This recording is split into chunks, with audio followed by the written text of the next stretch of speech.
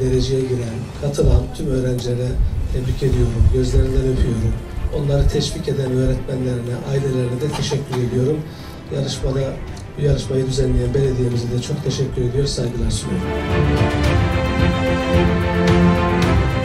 Bu ülkenin gençlerini kucaklamak, yaptıkları çalışmaları somutlaştırmak yerine siyasi ikballeri ve hırsları uğruna kutuplaştırmaya gayret ediyorlar. Akıncı'yı, Gökbey'i, TOG'u hakir görenler gençlerimizin parlak fikirlerine başvurmak yerine onları dar bir alana hapsediyorlar. Biz ise gençlerimize inanıyoruz.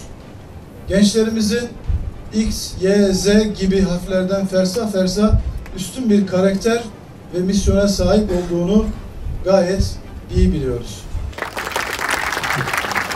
Çok teşekkürler başkanım.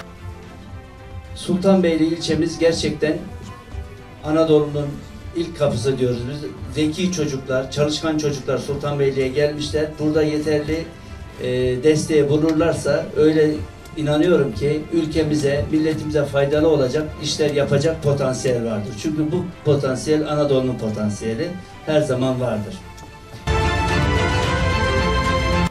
Projemde yatağın sağ ve sol taraflarında ikişer tane sabit makara bulunuyor. Şurada kollarımız var. E, yatağımızın içinde bir adet rulo bulunuyor. İşte probleme çözüm ise belirlediğimiz hedef kitlemizdeki bireylerin kısa boylarından kaynaklı yaşadıkları e, sorunları çözmekti. Benim projemde uçağın kanatları ayrılarak yerin sağ, yumuşak bir iniş yapabilmesi söz konusudur. Evet, teşekkür ediyoruz.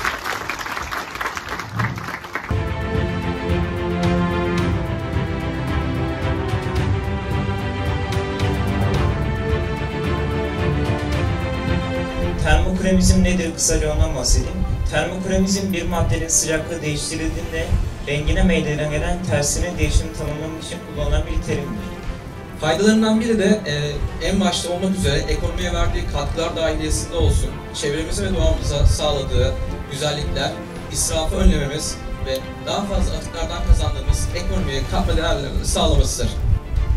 Bizler bu insanların dışarıda geçirdikleri zamanlarda ailelerinin onları takip edebileceği, kaybolma anında hızlı bir şekilde onlara ulaşabilecekleri bir yelek tasarladık.